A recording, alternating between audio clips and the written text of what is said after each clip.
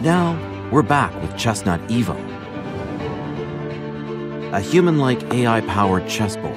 Chessnut Evo challenges players with a built in human like neural network chess engine called Maia Chess, which is designed by Microsoft. Of course, it's also equipped with Chessnut's robust piece recognition technology, with each piece having a built in chip that enables it to be recognized, allowing you to better enhance your chess skills through Evo.